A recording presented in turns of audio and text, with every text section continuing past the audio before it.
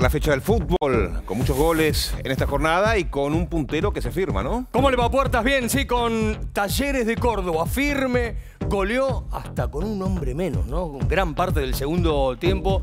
Eh, bueno, el hecho tiene que ver con la contundencia, pero un equipo que maneja muy bien la pelota y que termina definiendo prácticamente el pleito, lo cerró en la primera etapa más allá de ese gol agónico de Rosario Central. Ponemos primera para el resumen de todos los goles que tiene que ver con el día de hoy, obviamente, y con Talleres el líder indiscutido y que nadie podrá alcanzar, salvo River, que se puede acercar si gana su compromiso. Seguir manteniendo los dos puntos que Exactamente. Si gana River, estará a dos puntos, sumará 27 a dos de los 29 que tiene Talleres de Córdoba. Allí entonces, Nahuel Tenaglia, Mateo Retegui, que tuvo una participación decisiva con dos goles, pero además con sesión. La verdad que jugó. Juega bien el Chapita, ¿eh? Sí, no, aparte de sesión para los goles del resto de sus compañeros. Es un equipo. Esta es una realidad aquí.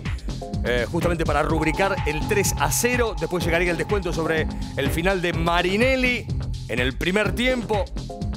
Hizo días que después veía la tarjeta roja y quedaba con uno menos el equipo Tallarín. Pero, digamos, no hizo mella prácticamente este futbolista la verdad que inexplicable, ¿no? La expulsión porque fue doble amarilla, no se ve una agresión concreta y allí uno de los técnicos más pretendidos. Vamos, el abrazo con Pipo Gorosito.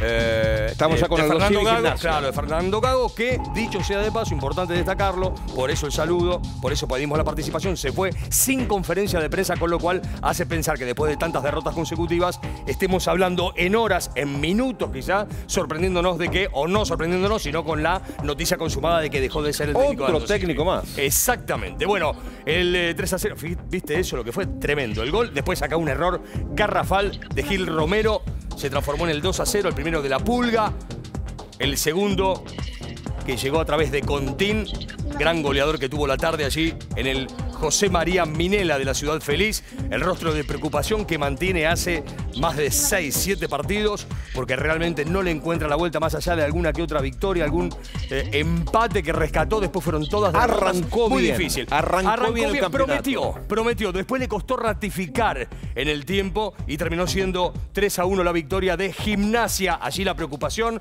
repito, la conferencia de prensa que suspendió el mismo entrenador, lo que hace pensar que deje de ser, al menos eh, en el día de hoy o por lo menos meditarlo en la semana. Y nos vamos con Arsenal, con Sepúlveda. Señores, perdió Lanús, otro de los títulos importantes de este torneo de primera división. Este gol de Sepúlveda, Arsenal 1, Lanús 0.